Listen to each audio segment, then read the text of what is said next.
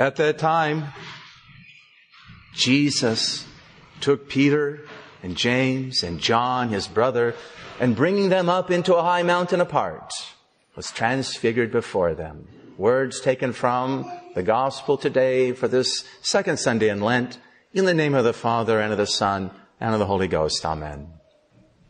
Sometime after St. John Bosco had established his home for wayward boys in Turin, his own dear saintly mother Margaret worked with him in keeping these little urchins properly fed and clothed. Yet one day she came into his office crying out, I can't do this anymore. You see all the trouble I take, and yet nothing comes of it.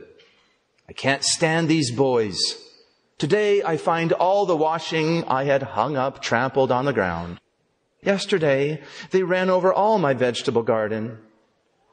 Some come back at night with their clothes all in rags, others without neckties or shoes or handkerchiefs. Some of them hide their shirts, others take my saucepans to play with. It takes hours to find all these things.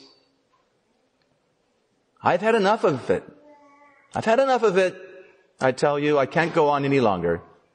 And just think how quiet I was at home in Becchi, doing my spinning. Let me go back to end my days there. Don Bosco made no reply. He simply pointed to the crucifix hanging on the wall. Mother Margaret understood and her eyes filled with tears. You are right. You are right, she said. And then she went down and put on her apron. The Desert Fathers teach us this important fact. Demons cannot easily find an entrance into the heart, the mind, or body of anyone, nor have they the power of overwhelming the soul of anyone unless, unless they have first deprived it of all holy thoughts and made it empty and free from spiritual meditation. As from the fathers of the church, desert fathers, the desert fathers always stressed the need for Christian meditation in overcoming devils and their wiles. Christian meditation, what is that? That is reflecting on a mystery of Christ and making it real to ourselves. Conversing about this mystery with God in prayer, quietly, interiorly, not vocally, how much more is this true today than this need for Christian meditation to keep the devil at arm's length when we have the rising tide of the occult in our world? Wicca is the fourth largest religion in America now. The devil has his contemplatives too. We have many that are meditating today on things of the world like movies, smartphones. They're always meditating on something. Facebook and all the social media. According to the fathers, the doctors, and the saints, this Christian meditation that we need should most especially be focused on the passion of our Lord and Savior. It's proven to be the most powerful in keeping the devil away and breaking man free from sin. You can just imagine the ease the devil has with so many people meditating on the wrong things, practicing a worldly, even diabolical meditation rather than a Christian meditation. Once again, the fathers say that demons cannot easily find an entrance into the mind, the heart, or body of anyone, nor have they the power of overwhelming the soul of anyone unless they have first deprived it of all holy thoughts and made it empty and free from spiritual meditation. Now this is precisely one reason why we arrive at the transfiguration on Mount Tabor the second Sunday of Lent. Last Sunday was the devil tempting. This Sunday we're at Tabor. We have the means to overcome him. What are those means? Well, St. Luke recounts of the transfiguration in his gospel. He says, His Majesty and His chosen disciples went up into a mountain to pray. They went up there to pray, to meditate with His Majesty, these disciples. And as they prayed, St. Luke says, behold, two men were talking with him. And they were Moses and Elias, appearing in majesty, and they spoke of his decease, excessum in the Latin, his departure, his exodus from this world, that he should accomplish in Jerusalem. Luke chapter 9. Now obviously, these two great ones, Moses and Elias, were meditating with His Majesty on His passion. That's what they were doing before He Himself entered into this, His hour. In other words, even in good times, and being on Mount Tabor is good times. That's why he wanted, St. Peter wanted to build three tents. Let's keep the good times going. Let's stay here. So even in good times, that is, being with our Lord on Mount Tabor, we must meditate upon the passion if we're going to make it. If we have to go back down into that valley, which we all do when we leave the doors of this church today, we need to be fortified by the power given us by God through the passion. Everyone knows that we ourselves will be exiting this world sooner or later. We're all going to die. To make it home to heaven safely, we must pass through Calvary and die with Christ so that we can rise with Christ and live with Him forever. Thus the reason for meditating, making real to ourselves the passion. Now, we can see the power of this. Let's think about it. Why did God choose Moses and Elias to appear with him on Mount Tabor? Because they did this very thing in their lives. They meditated upon the passion. Moses saw the passion and meditated upon it often as he wrote the five books, the first five books of the Bible. Yes, he is their author. It had one author, God, and the second author, the human author, is Moses, as Jesus himself tells us.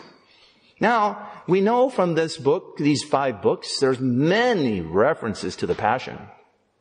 Here's a couple. Noah's Ark coming down on a mountaintop from whence water and blood flowed as the side of the ark opened and out came the life of the world. Our Lord is the ark and from his side opened up came blood and water down a mountain Abraham sacrificing Isaac bound on wood that Isaac himself carried up the mountain, just like our Lord carried the cross to the top of the mountain, but was saved at the last moment by an angel, Isaac was. Remember, there was a replacement sacrifice provided, a lamb caught in the wood of a tree, representing the Christ dying on the mountain in the future. He saw a vision of Christ's day and he marveled. Don't you think Moses understood what that vision was when he wrote that? Third of all, how about Joseph, the patriarch? He was imprisoned with two other men. One died. He was like the bad thief and one lived being released with Joseph. He was the good thief. Not to mention Moses meditating on things of time and eternity from the mountains of Sinai and Horeb. And is spreading out his arms in the shape of a cross, holding the wood of the cross in his hands, splitting the Red Sea and working all sorts of miracles and defeating the Amalekites down in the valley below. Moses understood what these things meant. And finally, in the fending off of the seraph serpents with the bronze serpent on a tree. Moses meditated upon the passion. Elias saw the passion, the acceptable sacrifice that required blood and water on the top of Mount Carmel. The sacrifice that put an end to all Jezebel's false prophets and their false religions. He again contemplated the passion as he longed to die below a tree in the desert and was given life-giving bread and told to climb the mountain and meditate once again with God. Each of these men did great and memorable works that are still admired to this day. Elias is scheduled even to return near the end of time to do even more in confronting the Antichrist. How did these men do this? One could say that each of them not only meditated upon the passion of Christ that was going to happen in the future, in other words, according to his own time, place, and position, but also shared, shared in his passion as well. This is how they did it. Saints found this to be true as well. If you've ever read about victim souls like Saint Lidwin of Schiedam, she's 15th century, and Blessed Alexandrina da Costa, 20th century, victim souls, were finally able to accept their suffering. There's this unbelievable suffering they went through. And they used it for good. Only after spending time meditating on the passion of His Majesty, then they suddenly soared up into the heights of a spiritual life. A marvel to read about.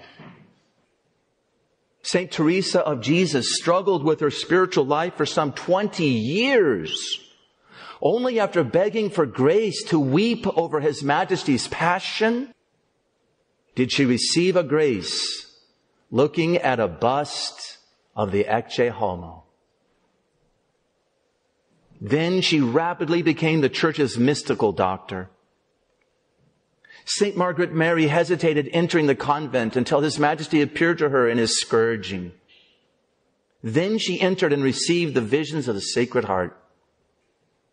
St. Padre Pio relived the Passion many times to gain countless souls for God through the confessional or even through bilocation. In a word, men and women became saints through the meditating on the passion of our Lord. And they helped others to become saints as well. At the end of time, His Majesty tells us that His cross will appear in the sky as a sign. Listen to one author describe this amazing reality. He says, all the fathers concur in interpreting this sign which will appear in the sky at the end of time will be displayed in the heavens as the cross of Christ. Although the cross whereon our Lord suffered is now divided into innumerable little pieces, even particles, yet by divine power it will once more form a complete whole. Not a sliver shall be lost. In other words, the sign you're going to see is literally the cross that Christ died on. It will be carried down from heaven by the angels with solemn pomp, and it'll be glowing with magnificence. And the angels who bear it will be followed by others who, as the angelic doctor St. Thomas Aquinas maintains, will carry all the other instruments of the passion. That is to say, the pillar, the lance, the scourges, the hammer, the dice, the scarlet robe, the white robe, the seamless tunic, the holy winding sheet, the vessel containing myrrh, and all the other instruments that were employed during the Passion. And the object of this will be to make manifest to the whole world how many and how manifold were the pains Christ suffered for our sake. His whole passion will seem to be reenacted before them. Amazing. Thank you. It's excellent.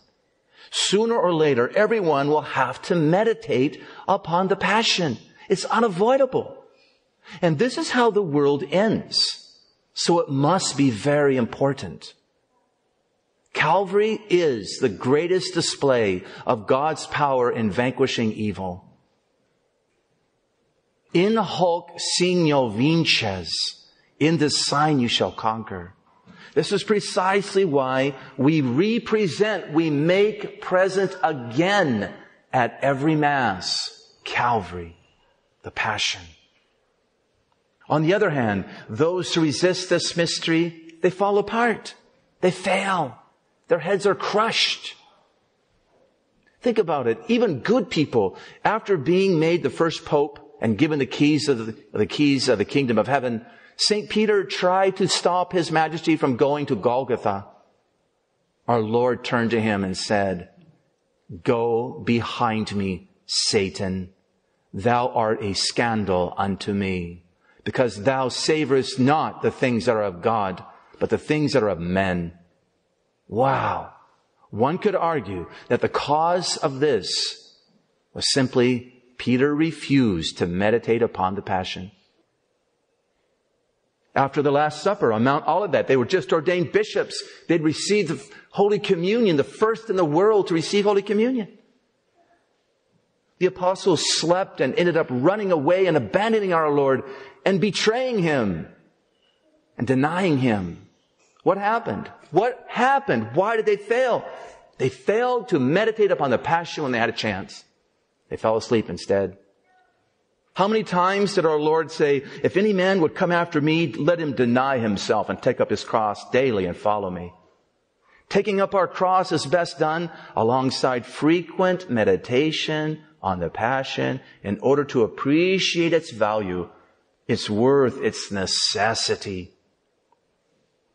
Now, if you're not convinced yet, finally, we have the words of St. Paul where he is in tears because so many, quote, conduct themselves as enemies of the cross of Christ, end quote. It seems St. Paul meditated frequently upon the passion so often, as it were, that he could say, quote, I bear the marks of the Lord Jesus in my body, end quote.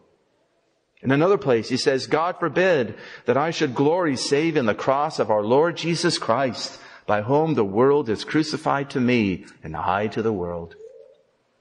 The imitation of Christ says, if you cannot contemplate high and heavenly things, take refuge in the passion of Christ and love to dwell within his sacred wounds. For if you devoutly seek the wounds of Jesus and the precious marks of his passion, you will find great strength in all troubles.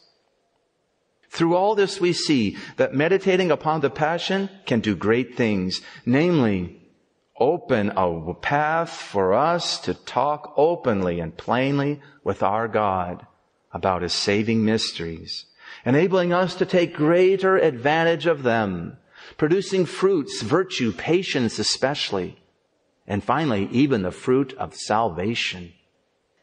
We can join Moses and Elias in making the passion of our blessed Lord real to ourselves through accompanying Him in the stations of the cross in the sorrowful mysteries of the rosary, prayed with some care, prayerfully reading the passion accounts in the four gospels, as well as Isaiah's chapter 53, Wisdom chapter 2, and Psalm 21, to name only a few.